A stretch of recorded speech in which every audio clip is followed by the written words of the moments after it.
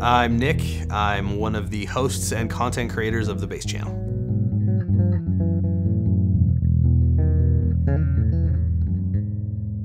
This is my Ernie Ball Music Man Stingray. Um, yeah, something I picked up from the shop not too long ago, actually. This is um, one of this is my newest bass, and this has very quickly become one of my primaries. If I'm not playing my P bass, I'm playing my Stingray.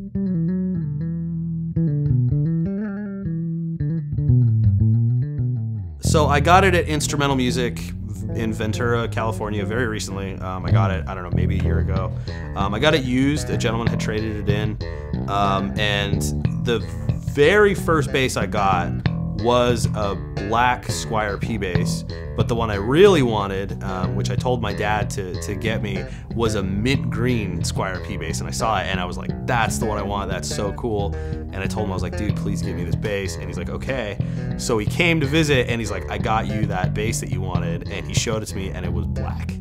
And of course, like, I don't want to be disrespectful. He got me an instrument. I was like, thank you very much. But secretly, I was like, oh man, damn, I really wanted that mint green one.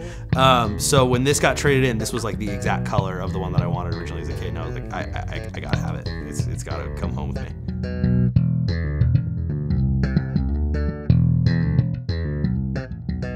It has uh, an Aguilar brand pickup in it. Um, this is how it was traded in uh, with the Aguilar pickup.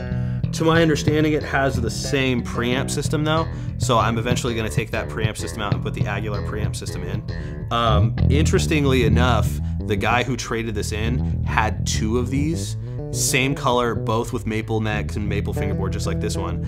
Uh, same year, same condition, everything, but one had the Aguilar pickup and one did not. Um, so I got to play them both, and this one actually uh, definitely sounded better, uh, just overall. So eventually I'll change the preamp system, and I want to put a drop tuner like I have on my P bass, just because I use that tremendously. So that'll be the next mod.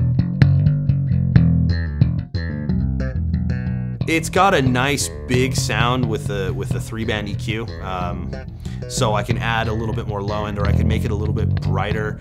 It's a very funky bass. These Stingrays, with the way I have it, I kind of set it like um, like Gail Ann Dorsey does. Um, so she like closes the treble and opens the bass like all the way up on her three band EQ, and that's pretty much how I use it more or less for most situations.